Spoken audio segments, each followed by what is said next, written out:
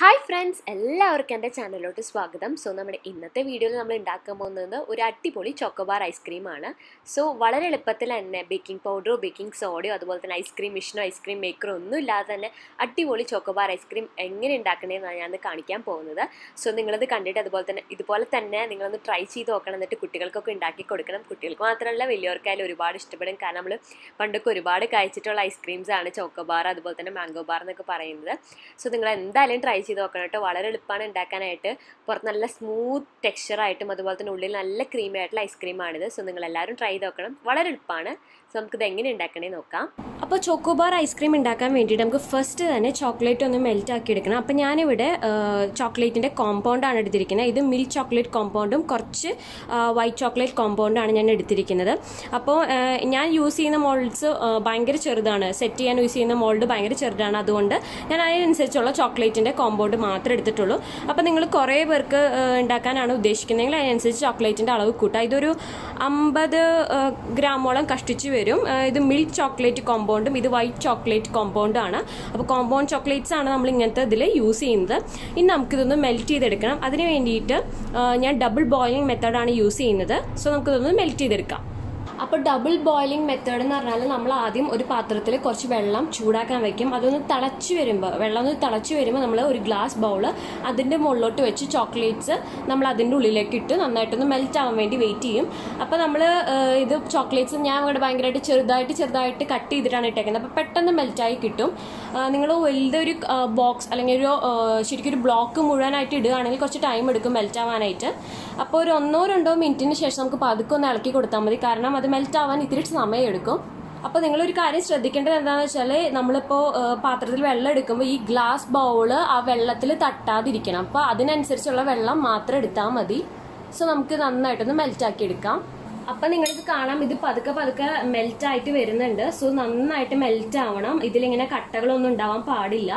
പിന്നെ നിങ്ങളൊരു കാര്യം ശ്രദ്ധിക്കണമെന്ന് വെച്ചാൽ നമ്മളിതിൽ യൂസ് ചെയ്യേണ്ട ഈ ചോക്ലേറ്റ് മെൽറ്റ് ചെയ്യാൻ യൂസ് ചെയ്യുന്ന പാത്രം എന്ന് പറഞ്ഞാൽ അതിൽ വെള്ളത്തിന്റെ നനവൊട്ടും പാടില്ല. നന്നായിട്ട് ഡ്രൈ ആയിരിക്കണം. അല്ലെങ്കിൽ നമ്മുടെ മിൽക്ക് ചോക്ലേറ്റ് അല്ലെങ്കിൽ മിൽക്ക് കോമ്പൗണ്ട് നമ്മൾ സെറ്റ് ചെയ്യാൻ വെക്കുമ്പോൾ അത് മര്യാദയ്ക്ക് സെറ്റ് ആയിട്ട് കിട്ടില്ല. സോ അത് ശ്രദ്ധിക്കുക. അപ്പോൾ ഇതിൽ യൂസ് ചെയ്യുന്ന എല്ലാം നല്ല ഡ്രൈ ആയിട്ട് ഇരിക്കുകയും വേണം. ഇതിലിപ്പോൾ സ്പൂൺ ആണെങ്കിലും പാത്രം ആണെങ്കിലും ഈ ബൗൾ ആണെങ്കിലും നന്നായിട്ട് ഡ്രൈ ആയിട്ട് ഇരിക്കണം. സോ നന്നായിട്ടൊന്ന് മെൽറ്റ് ആവട്ടെ. അപ്പോൾ അതേ നമ്മുടെ ചോക്ലേറ്റ് നന്നായിട്ട് മെൽറ്റ് ആവുന്നുണ്ട്. അപ്പോൾ ഇതിലിങ്ങനെ കട്ടകളൊന്നും ഇല്ലാതിരിക്കാൻ വേണ്ടി നമുക്ക് നന്നായിട്ടൊന്ന് ഇളക്കി കൊടുക്കാം. അപ്പോൾ ഇത് നമ്മുടെ ചോക്ലേറ്റ് നന്നായിട്ട് മെൽറ്റ് ആയിട്ടുണ്ട്. സോ നമുക്കിതൊന്ന് സ്റ്റൗ ഓഫ് ചെയ്തതിന് ശേഷം ഒന്ന് മാറ്റി വെക്കാം. അപ്പോൾ നമ്മുടെ ചോക്ലേറ്റ് നന്നായിട്ട് മെൽറ്റ് ആയിട്ട് വന്നിട്ടുണ്ട്. സോ ഇനി അതിന്റെ ഉള്ള കട്ടകളൊന്നും ലംസ് ഒന്നും ഇല്ലാതിരിക്കാൻ വേണ്ടിയിട്ട് നമുക്ക് നന്നായിട്ടൊന്ന് മിക്സ് ചെയ്ത് കൊടുക്കാം.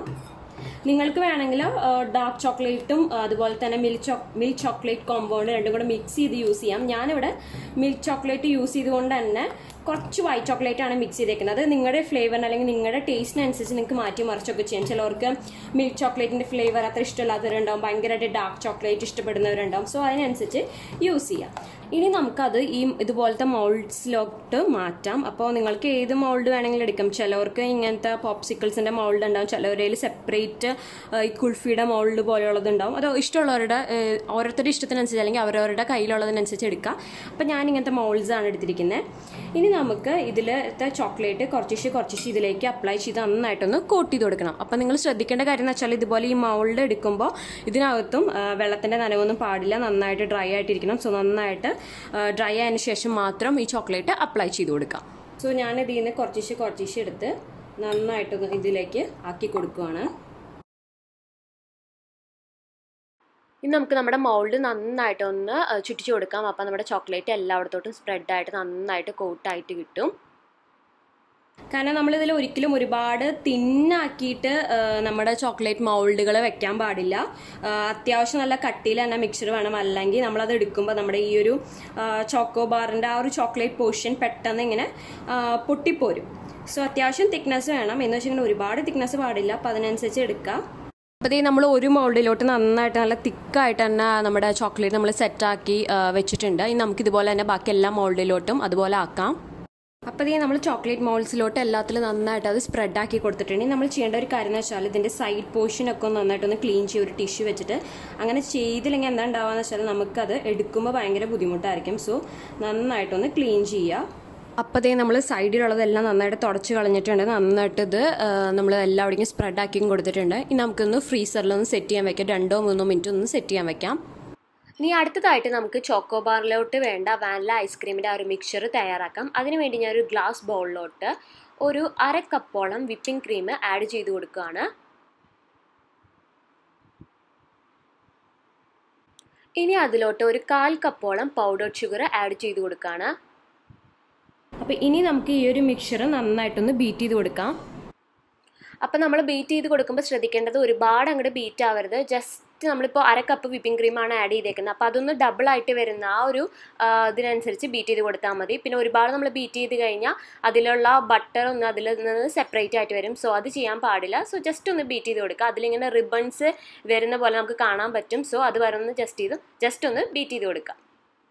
ഇനി നമുക്ക് ആ മിക്സറിലോട്ട് ഒരു ടേബിൾ സ്പൂൺ വാനില എസൻസ് അതുപോലെ തന്നെ ഒരു കാൽ കപ്പ് മിൽക്ക് പൗഡർ അതുപോലെ തന്നെ ഒരു അര കപ്പോളം പാലും കൂടെ ചേർത്ത് നന്നായിട്ടൊന്ന് ഒരു സ്പൂൺ വെച്ചിട്ട് മിക്സ് ചെയ്ത് കൊടുക്കാം. ഇനി നമ്മൾ ബീറ്റർ യൂസ് ചെയ്യേണ്ട ആവശ്യമില്ല. ജസ്റ്റ് ഒരു സ്പൂൺ വെച്ചിട്ട് അല്ലെങ്കിൽ ഏതെങ്കിലും ഒരു സ്പാച്ചിൽ വെച്ചിട്ട് നന്നായിട്ടൊന്ന് മിക്സ് ചെയ്ത് കൊടുത്താൽ മതി. അപ്പം നമ്മളുടെ മോൾസ് നമ്മൾ ഫ്രീസറിൽ സെറ്റ് ആവാൻ വെച്ചത് ഇവിടെ എടുത്ത് വെച്ചിട്ടുണ്ട്. അതുപോലെ തന്നെ നമ്മൾ വാനില ഐസ്ക്രീമിന്റെ മിക്സർ ഇവിടെ വെച്ചിട്ടുണ്ട്. ഇനി നമുക്ക് ഈ മോൾസിലോട്ട് ഈ ഐസ്ക്രീമിന്റെ മിക്സർ ഒന്ന് എല്ലാത്തിലും ഒന്ന് ഫില്ല് ചെയ്ത് കൊടുക്കാം. ഇവിടെ എല്ലാ ഐസ്ക്രീം മോൾസിലോട്ട് നമ്മൾ ഐസ്ക്രീമിന്റെ മിക്സർ ഫിൽ ചെയ്തിട്ടുണ്ട്. ഇനി നമുക്ക് അതിന്റെ സ്റ്റിക്സ് യൂസ് ചെയ്യാം. നിങ്ങൾക്ക് വേണമെങ്കിൽ ഇപ്പോൾ സെപ്പറേറ്റ് പോപ്സിക്കിൾസിന്റെ ഒക്കെ സ്റ്റിക്സ് കിട്ടും. അത് യൂസ് ചെയ്യാം. അല്ലാത്തവർക്ക് ഉണ്ടെങ്കിൽ ഇങ്ങനത്തെ ഓൾറെഡി ഇങ്ങനത്തെ മോൾസിന്റെ കൂടെ വരുന്ന സ്റ്റിക്സ് യൂസ് ചെയ്യാം. അപ്പോൾ നിങ്ങളിപ്പോൾ ഐസ്ക്രീം സ്റ്റിക്സ് സെപ്പറേറ്റ് ആണ് യൂസ് ചെയ്യുന്നതെങ്കിൽ ഒരു അലുമിനിയം ഫോയിൽ വെച്ചിട്ട് ആദ്യം ഫസ്റ്റ് ഐസ്ക്രീമിന്റെ ഇതൊന്ന് കവർ ചെയ്തതിന് ശേഷം ഒരു ചെറിയൊരു ഹോൾ ഇട്ടിട്ട് വേണം ആ സ്റ്റിക്സ് വെക്കാനായിട്ട്. എന്നാൽ അല്ലെങ്കിൽ അതിൽ ഐസ് ക്രിസ്റ്റൽസ് വരാൻ ചാൻസ് ഉണ്ട്. അപ്പോൾ നമ്മളിതെല്ലാം ഇപ്പോൾ നന്നായിട്ട് ഫില്ല് ചെയ്തിട്ടുണ്ട്. നമ്മൾ അതിന്റെ സ്റ്റിക്സും വെച്ചു. ഇനി നമുക്കൊന്ന് ഫ്രീസറിൽ വെക്കണം. ഒരു പന്ത്രണ്ട് മണിക്കൂറെങ്കിലും ഫ്രീസറിൽ വെക്കണം. അല്ലെങ്കിൽ ഓവർനൈറ്റ് ഇരുന്നാലും അത്രയും നല്ലത്. സോ നമുക്കിതൊന്ന് ഫ്രീസറിൽ വെക്കാം. അപ്പോൾ നമ്മൾ ഓവർനൈറ്റ് വെച്ച് നമ്മുടെ ചോക്കോബാർ ഐസ്ക്രീം ഇവിടെ റെഡി ആയിട്ടുണ്ട്. അപ്പോൾ നമ്മളിത് എങ്ങനെ എടുക്കണേന്ന് വെച്ചാൽ നിങ്ങൾക്ക് വേണമെങ്കിൽ ചെറിയ ചൂടുവെള്ളത്തിൽ വളരെ ചെറിയ ചൂട് മതി കേട്ടോ ഒരു ബൗളിൽ കുറച്ച് ചൂടുവെള്ളം എടുത്തിട്ട് അതിലേക്ക് ഇതൊന്ന് മുക്കി വെച്ച് കഴിഞ്ഞാൽ നമുക്ക് പതുക്കെ ഒന്ന് ട്വിസ്റ്റ് ചെയ്ത് കഴിഞ്ഞാൽ നമുക്കത് എടുക്കാൻ പറ്റും. അല്ലെങ്കിൽ ജസ്റ്റ് പൈപ്പിൽ വെള്ളം തുറന്നിട്ട് അതിന്റെ അടിയിലോട്ട് ഈ ഒരു അടിഭാഗം മാത്രം ഒന്ന് പിടിച്ച് കഴിഞ്ഞാൽ പതുക്കെ പതുക്കെ പിന്നെ നമുക്കത് എടുക്കാൻ പറ്റും. അപ്പോൾ നമുക്കിന്ന് പതുക്കെ എടുത്ത് നോക്കാം.